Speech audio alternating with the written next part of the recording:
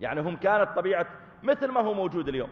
اليوم تجدين مثلا آه، الأسر اللي تعيش في الريف تلقين البنت من عمرها سبع سنوات تلقينها تطلع للمزرعة تشتغل مع أمها ولا مع أبيها. تلقين البنت عمرها سبع سنوات ثمان سنوات تخبز الخبز تعجن العجين. ولا لا؟ تصلح الكعك.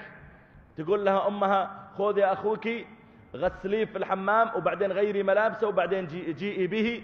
وتأخذ أخاها اللي عمره مثلا سنة وهي عمرها ثمان سنوات وتصلح الولد على أحسن شيء وتجيبه عند الأم. فهي لما يوصل عمرها عشر سنوات إلا البنت ست بيت. غير البنات اللي عايشين في المدن. تلقين عمرها مثلا ثمان سنوات تسع سنوات لما تبغى تمشط شعرها تجي عند أمها يما مشطي لي شعر. تبغى تلبس ملابسها يما إيش ألبس. تبغى يما أنا ما لقيت نعالي دو قومي دوري نعالي يما أنا ما لأن هي تعودت من صغرها أن الأم تصلح وتعدل. بارك الله فيك. وبالتالي هي نشأت على هذا. فالنبي عليه الصلاة والسلام لما تزوج عائشة خطبها في العمر العادي. خطبها في السن العادي. مثل لما مثلا في السودان ربما البنت تخطب عمرها 14-15 سنة. يبدأ تخطب ولا لا؟ وعادي لما الواحد يكون عمر بنته 15 سنة 15 ويجي واحد يخطبها لن يقول له أنت مجنون؟ تخطب طفلة؟ لا يشوفها عادي.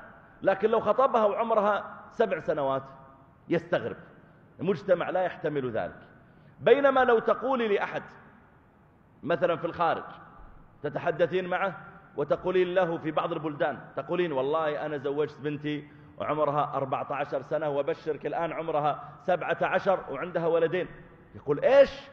14 أنت مجنونة هذه طفلة هذه الحمد لله هذه موفقة وعندها أولادها وماشية في دراستها والبنت الآن بتخلص الثانوي وبتدخل الجامعة ومبسوطة مع زوجها. ليش؟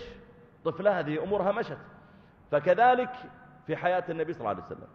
كان المجتمع النساء يتزوجن في هذا السن. وهو عليه الصلاة والسلام لم يخالف أمرا غريبا عندهم. فتزوج عائشة عمرها تسع سنوات عاد عمرها تسع سنوات.